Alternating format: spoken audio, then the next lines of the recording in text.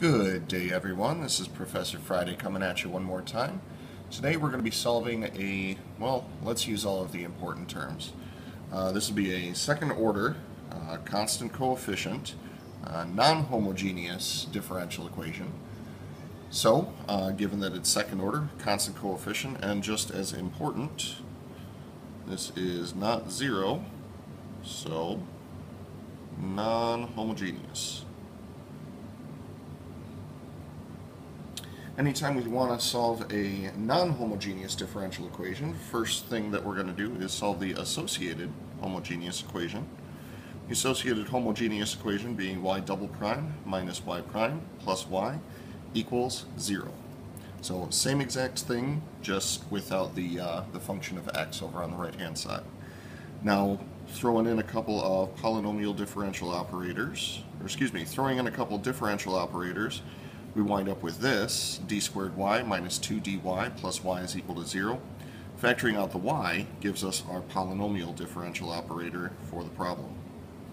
That polynomial differential operator is d squared minus 2d plus 1 is equal to, uh, excuse me, times y is equal to 0, which factors quite nicely into d minus 1 quantity squared. Now with that in mind, this is a second degree. It is a repeated root, which lets me know that there should be two linearly independent solutions when we create our fundamental solution set.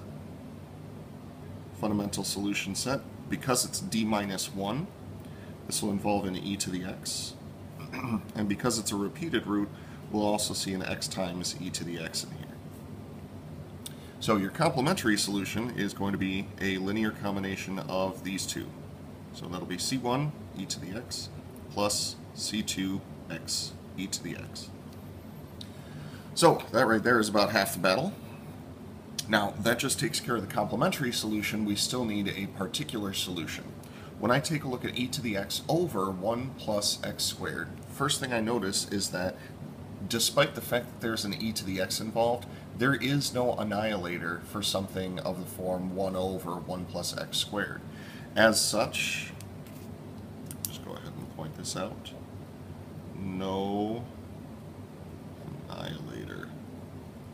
So unfortunately, we can't use the techniques of annihilators in the method of undetermined coefficients.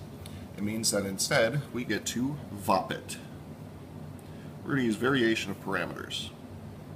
Variation of parameters operates under the assumption that we will be taking a nonlinear combination of our complementary solution and that that will be our particular solution. Now when we do variation of parameters, a very important thing that we must remember is that we are going to avoid second derivatives of these two functions.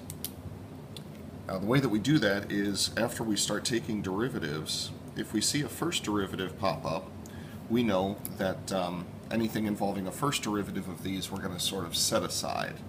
So for um, the first derivative of the particular solution, we could go product rule. First times derivative of the second plus second times derivative of the first.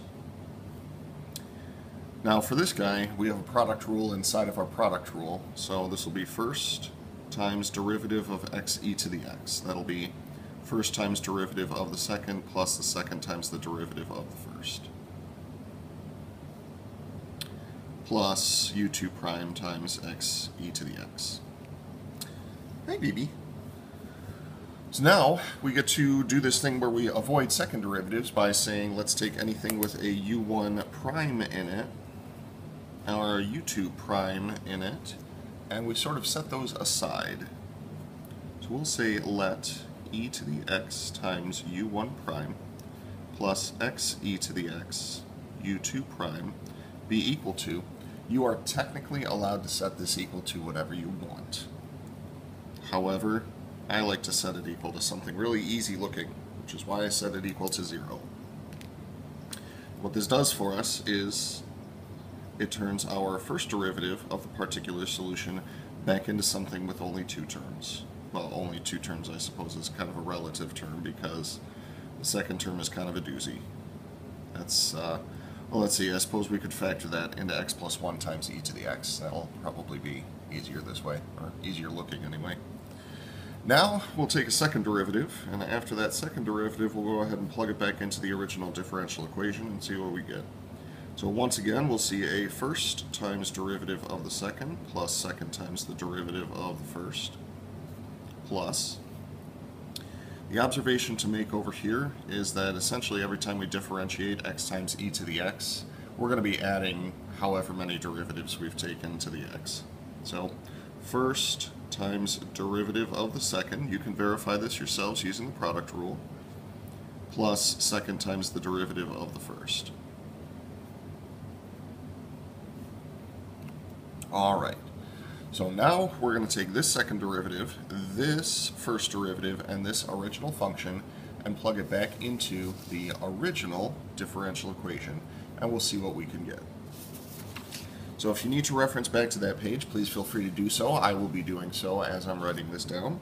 The original differential equation said y double prime minus 2y prime plus y is equal to e to the x over 1 plus x squared.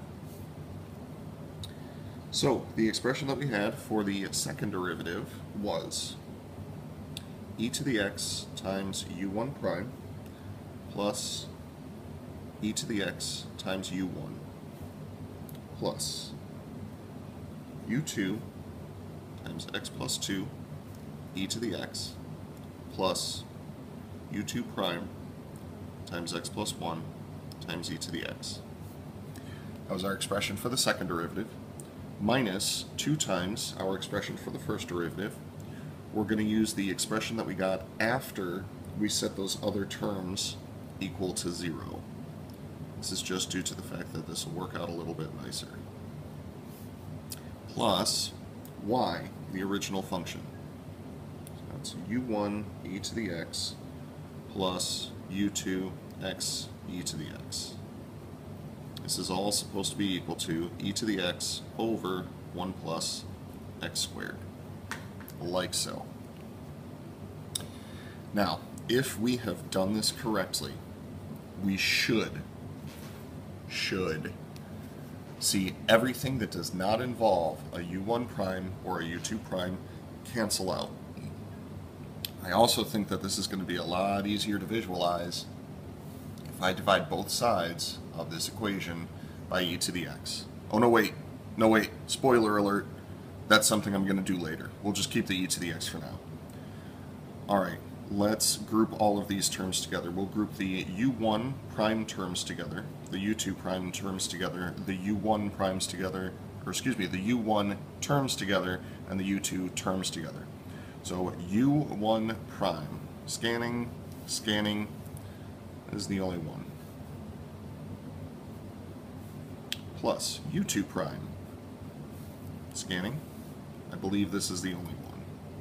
So it'll be x plus 1 times e to the x plus. So we've accounted for those. Let's grab everything with a u1 in it. Here we have an e to the x. Here we'll have a minus 2 e to the x and then here we have a plus e to the x. That is fantastic news. We'll do the same thing for the u2 terms. Uh, we have one right up here. This will be x plus 2 times e to the x, oh boy.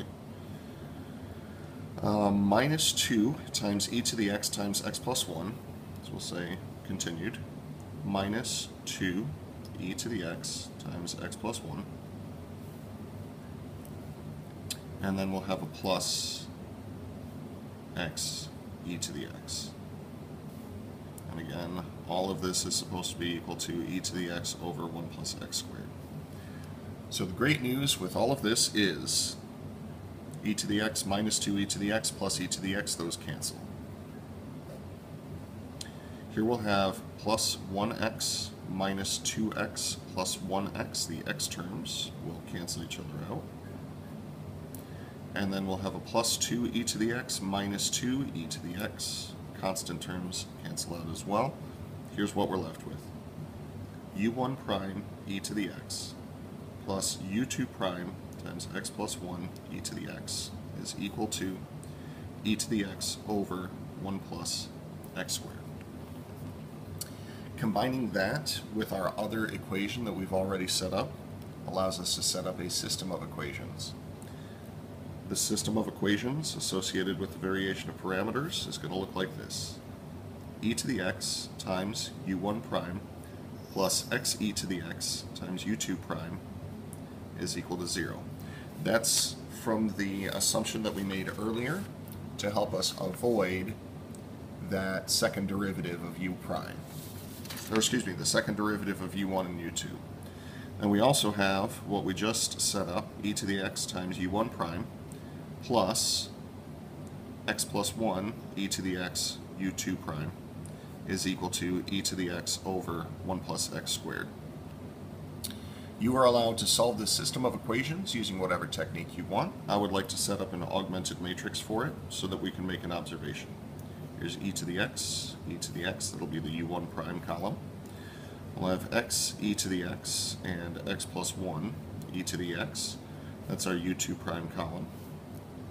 And we augment with 0 and e to the x over 1 plus x squared. Now, what we hopefully talked about in class is the fact that your coefficient matrix is really just the Wronskian of the two linearly independent functions from the associated homogeneous equation. Since I like that word so much, I'm going to put it down right here. Boom. Now over here, what you should have is that there will be a zero up here, and then this should be just whatever your uh, non-homogeneous part of the differential equation was. We'll call that g of x. So, if things have gone well, fantastic. So, we need to solve this system, so we need to take the matrix down to reduced row echelon form. I'm going to start by dividing both of the rows by e to the x.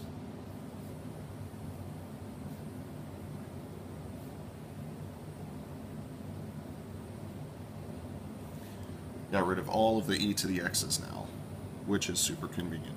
Then I'm going to take negative 1 times the first row, add to the second row, which will put me, let's see, negative 1 plus 1, that'll be 0. Negative x plus x plus 1, that'll be 1. Then 1 over 1 plus x squared. Super.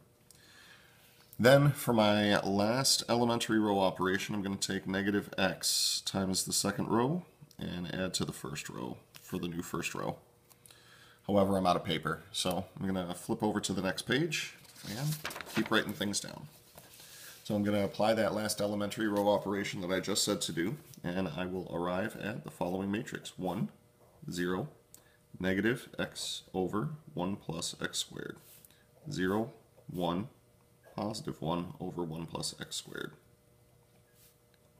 The interpretation of this from the first row, u1 prime is equal to negative x over 1 plus x squared. And u2 prime is equal to 1 over 1 plus x squared. Performing an integral of each of these is going to get us to our answers. So u1 is equal to the indefinite integral of negative x over 1 plus x squared dx. For that, you can use a u substitution, and it should not be horribly difficult for you to show that that's going to be negative 1 half natural log of 1 plus x squared.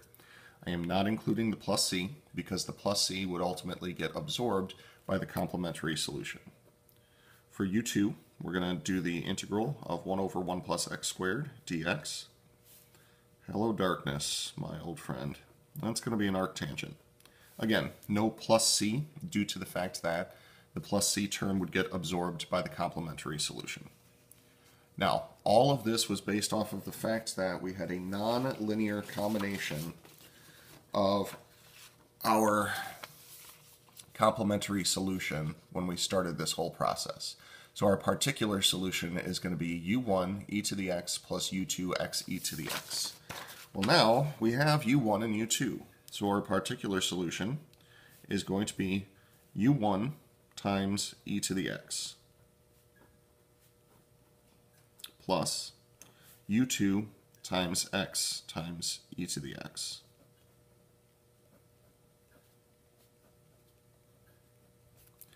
Writing down the complementary solution plus the particular solution is going to give us our general solution. So general solution will be our complementary solution from the first page plus our particular solution. And as soon as I wrote down plus, I was like, ah, crap, it's supposed to be minus. So we'll just rewrite it in a slightly different order. And you'll have to forgive me for that one. Or don't, you know, whatever. It's my fault. There we go. Here's our general solution for the original differential equation. I hope you enjoyed, and I'll see you in videos soon.